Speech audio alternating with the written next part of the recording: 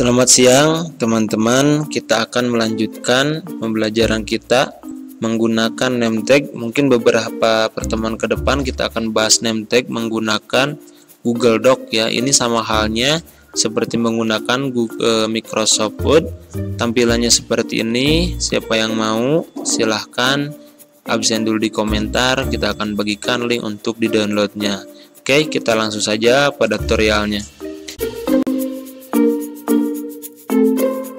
sebelumnya teman-teman kita menggunakan Google Doc ini harus dalam menggunakan akses internet tetapi teman-teman juga jangan khawatir karena pada dasarnya nanti juga yang akan kita bagikan adalah e, file yang sudah jadi. Jadi teman-teman juga tinggal dipakai saja. Tetapi kalau ini ingin menggunakan e, hal seperti ini bisa dilakukan atau bisa diikuti cara-caranya. Oke. Langkah pertama teman-teman sekarang buka dulu Google Doc di Google seperti ini. Setelah itu tinggal ditekan saja. Oke, setelah teman-teman uh, mendapatkan Google Doc tadi, sekarang kita sudah menuju pada page-nya ya. Kita atur dulu untuk penataannya, masuk file lalu ada penataan. Kita pilih di sini mau portrait mau landscape sama, tapi supaya lebih besar, lebih lebar kita gunakan landscape saja dengan satuan cm 0,5 cm supaya marginnya lebih lebar. Maaf maksud saya marginnya lebih sempit dan area cetaknya lebih lebar. Kalau sudah tekan OK. Setelah itu kita masukkan gambarnya.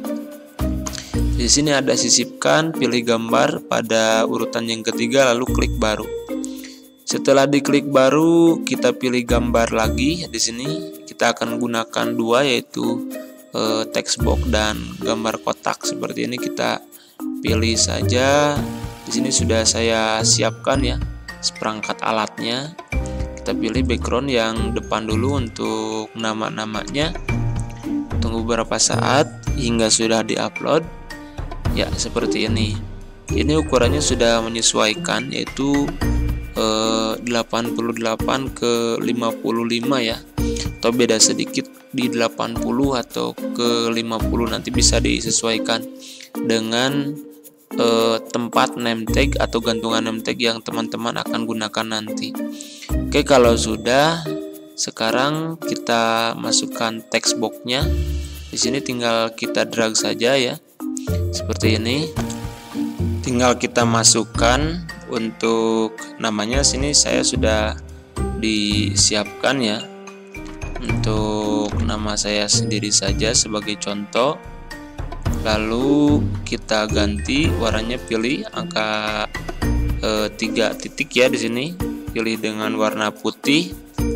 Setelah itu teman-teman kita pilih dulu untuk yang dua ya yang ini nama kita perbesar kita blok dulu. Uh, sorry kita blok. Lalu kita perbesar. Dan namanya kita berikan bold untuk kreator sendiri kita berikan uh, rata tengah ya seperti itu. Kita turunkan ke bawah. Selanjutnya kita rapihkan dulu untuk icon ya. Kita buat tiga saja mungkin teman-teman bisa masukkan akun sosial media sebagian yaitu bisa menggunakan Facebook atau channel. Caranya teman-teman kita masukkan lagi gambar pilih gambar. Nah di sini saya sudah siapkan ya. Untuk icon icon sosial medianya kita pilih saja Facebook dulu. Kita pilih Facebook. Oke kalau sudah kita bisa drag ke bawah seperti ini. Ini uh, untuk tulisannya teman-teman. Jadi yang bagian ini kita berikan tab dulu ya supaya ada ruang untuk uh, icon Facebook sendiri. Di sini untuk ikonnya teman-teman memang uh, besar ya. Jadi untuk namanya atau akun sosial medianya kita berikan spasi ya atas bawah misalkan 1,5 ya, seperti itu oke kalau sudah, boleh diduplikat dengan di Ctrl D seperti ini. lalu lakukan kembali, kontrol D kembali seperti itu dan pada tulisan app-nya ya di sini kita ganti gambar ya pada icon Facebook-nya. Kita ganti dengan icon YouTube misalkan channelnya kita oke okay, sudah terganti. Kita tinggal di reset dulu ya supaya uh, ikonnya benar-benar keluar seperti itu. Karena memang pada setiap icon ukurannya bisa berbeda karena ikonnya pun berbeda juga ya seperti itu. Selanjutnya kita ganti gambar yang ini menggunakan gambar dari telepon ya atau WhatsApp juga bisa ya seperti itu. Kita klik kanan lalu reset gambar. Oke kalau sudah kita perbesar sedikit. Sudah di reset gambarnya. Ya seperti ini. Hmm. oke kalau dirasa sudah rapi teman-teman tinggal eh, kita sesuaikan jangan terlalu depan atau terlalu belakang. Sekarang tinggal kita sorot dulu semuanya atau kita seleksi dulu semuanya kecuali yang backgroundnya ya.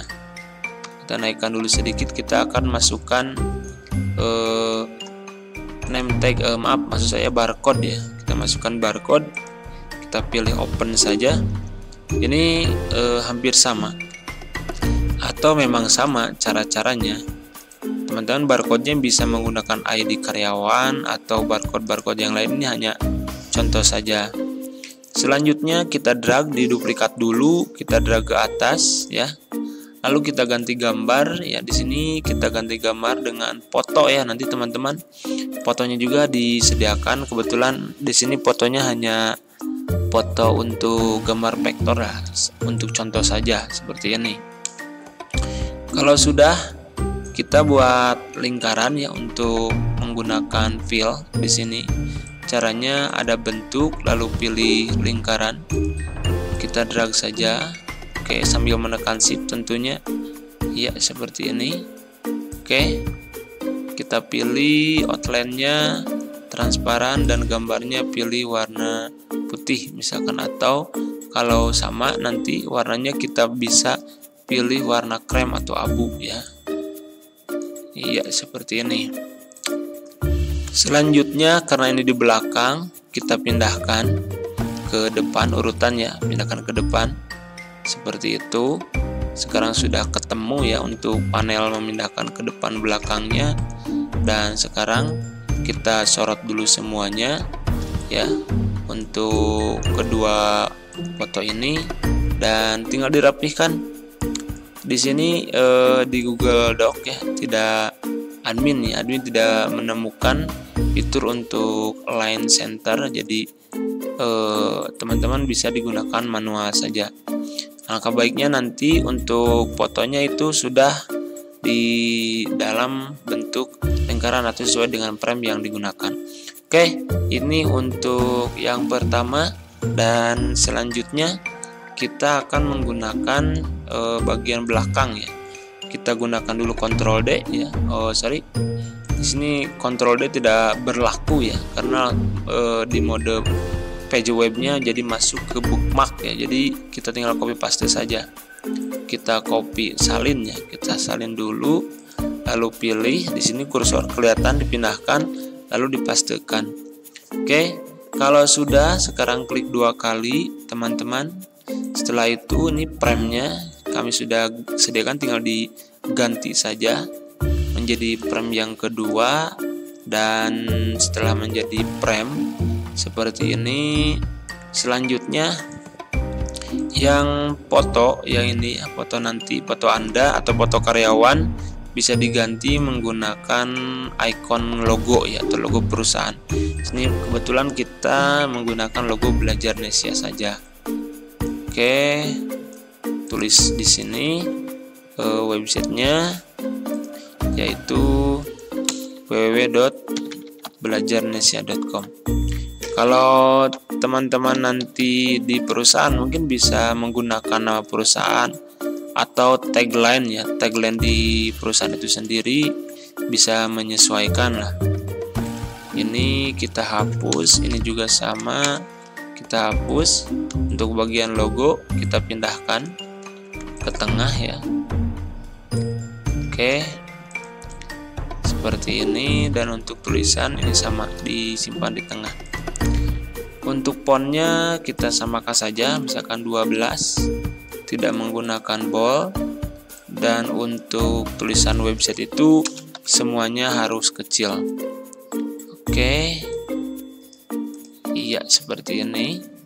Untuk e, warna kremnya mungkin harus lebih kuat ya supaya e, logonya kelihatan. Kebetulan logonya hanya putih saja dan kita reset. Oke. Seperti ini. Tinggal kita grup dulu. Di sini tidak ada grup, oh ada kelompokan.